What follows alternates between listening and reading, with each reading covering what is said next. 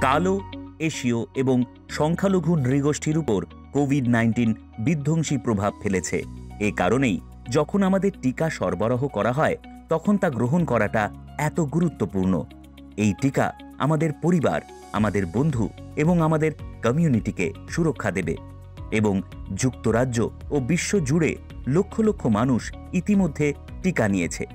আমরা যেসব জিনিস পছন্দ করি আমাদের বন্ধুবান্ধব এবং পরিবারের সাথে সেসব করার অবস্থা ফিরে পেতে টিকা নেওয়াই একমাত্র উপায়। আমরা নিশ্চিত করতে চাই যে টিকা সম্পর্কে আপনার পছন্দ নির্ধারণ করার জন্য প্রয়োজনীয় সমস্ত তথ্য আপনার কাছে রয়েছে। চারপাশে প্রচুর ভ্রান্ত তথ্য রয়েছে, যার অর্থ হল আপনি নির্ভর করতে পারেন এমন সত্য কোথায় পাবেন সে বিষয়ে সতর্ক হতে হবে। টিকা কি নিরাপদ? হ্যাঁ সমস্ত নতুন ওষুধের মতো কোভিড নাইন্টিন টিকার ক্ষেত্রে একই রকম পুঙ্খানুপুঙ্খ পরীক্ষা করা হয়েছে এবং তা ব্যবহারের জন্য নিরাপদ হিসাবে অনুমোদিত হয়েছে। এসব টিকা যুক্তরাজ্যে আমরা যেসব ওষুধ ব্যবহার করি, সেগুলো অনুমোদনকারী medicines and health care products regulatory agency বা এমএইচআরএ কর্তৃক মূল্যায়ন করা হয়েছে। সুরক্ষা এবং কার্যকারিতার জন্য উন্নয়ন এবং উৎপাদন প্রক্রিয়ার প্রতিটি পর্যায়ে এসব টিকা পুঙ্খানুপুঙ্খভাবে পরীক্ষা করা হয়েছে।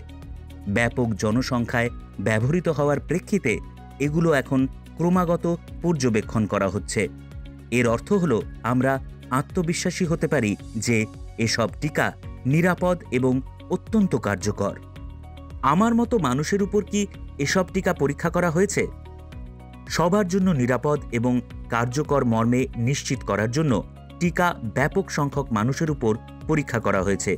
এসব টিকার ক্লিনিক্যাল পরীক্ষার ক্ষেত্রে বিভিন্ন বয়স, জাতিসত্তা এবং স্বাস্থ্যগত অবস্থার ব্যাপক সংখ্যক বয়স্ক ব্যক্তি জড়িত ছিলেন। টিকাগুলো সমস্ত ধ্রুপদের জন্য কার্যকর এবং নিরাপদ বলে প্রমাণিত হয়েছে। এসব টিকা কাজ করার প্রক্রিয়া কোনো ব্যক্তির জাতিগত পরিচয়ের ভিত্তিতে প্রভাবিত হয় এমন কোনো প্রমাণ নেই। টিকার উপাদানগুলোর ক্ষেত্রে যাদের মারাত্মক অ্যালার্জির প্রতিক্রিয়া দেখা গেছে, কেবলমাত্র তাদেরকে টিকা গ্রহণ না করার পরামর্শ দেওয়া হয়েছে। এমএইচআরএ আরও পরামর্শ দিয়েছে যে এসব টিকা গর্ভবতী নারী এবং যারা বুকের দুধ খাওয়ান তাদের জন্য নিরাপদ। তবে তাদের প্রথমে স্বাস্থ্যসেবা পেশাদারের সাথে বিষয়টি নিয়ে আলোচনা করা উচিত। কীভাবে এত দ্রুত টিকা আবিষ্কার বা তৈরি হলো? শত শত বিজ্ঞানী, হাজার হাজার স্বেচ্ছাসেবক এবং কোটি কোটি পাউন্ড তহবিলের কল্যাণে দ্রুত এবং নিরাপদে কোভিড নাইন্টিন টিকা তৈরি হয়েছে। কোনো সংক্ষিপ্ত পথ বেছে নেওয়া হয়নি। বিশ্বব্যাপী হাজার হাজার লোক স্বেচ্ছাসেবক হতে ইচ্ছুক হওয়ায় পরীক্ষার জন্য লোক নিয়োগ করা সহজ হয়ে যায়। পরীক্ষাকালে শেষ পর্যন্ত অপেক্ষা করার পরিবর্তে ফলাফল আসার সাথে সাথে তা পর্যালোচনা করা হয়। এর ফলে দ্রুত গবেষণার অগ্রগতি হয়। বৈজ্ঞানিক কর্মকাণ্ডে সাধারণত কয়েক বছর সময় লাগলেও এক্ষেত্রে মাত্র কয়েক মাসে তা সম্পন্ন হয়। টিকায় কি রয়েছে এবং কীভাবে তা কাজ করে? আপনি অন্য যে কোনো টিকা নিয়ে থাকলে কোভিড নাইন্টিন টিকা সেগুলোর মতোই কাজ করে। টিকা সংক্রমণের লড়াই করার লক্ষ্যে অ্যান্টিবডি এবং কোষ তৈরি করার ক্ষেত্রে আমাদের প্রতিরোধ ব্যবস্থাকে প্রশিক্ষণ দেয়। টিকায় কোভিড নাইন্টিন থাকে না এবং তা আপনাকে ভাইরাস দিতে পারে না। এসব টিকা ভ্রূণ বা প্রাণী থেকে আসা কোনো কিছুই ধারণ করে না।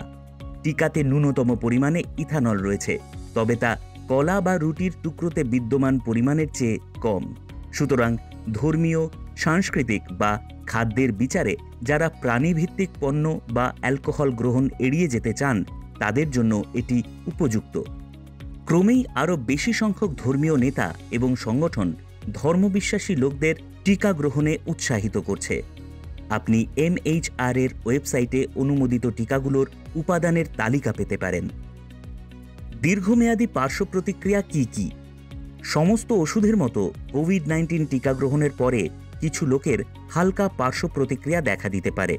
তবে বেশিরভাগ মানুষের ক্ষেত্রে তা খুব বেশি স্থায়ী হয় না। উদাহরণস্বরূপ, আপনার হাতের যেখানে ইঞ্জেকশন নিয়েছেন, সেখানে ব্যথা হতে পারে, যা প্রত্যাশিত এবং সম্পূর্ণ স্বাভাবিক। কিছু লোক অসুস্থ, ক্লান্ত বা শ্বাসকষ্ট বোধ করতে পারে বা তাদের মাথা ব্যথা হতে পারে। এসব টিকার দীর্ঘমেয়াদী পার্শ্ব প্রতিক্রিয়া খুব বিরল। আমরা যা জানি, তা হল কোভিড নাইন্টিনের দীর্ঘমেয়াদী পার্শ্ব প্রতিক্রিয়া মারাত্মক হতে পারে। টিকা নেওয়াটা আপনি, আপনার পরিবার এবং আপনার কমিউনিটিকে এই ভাইরাস থেকে রক্ষা করতে সহায়তা করতে পারে।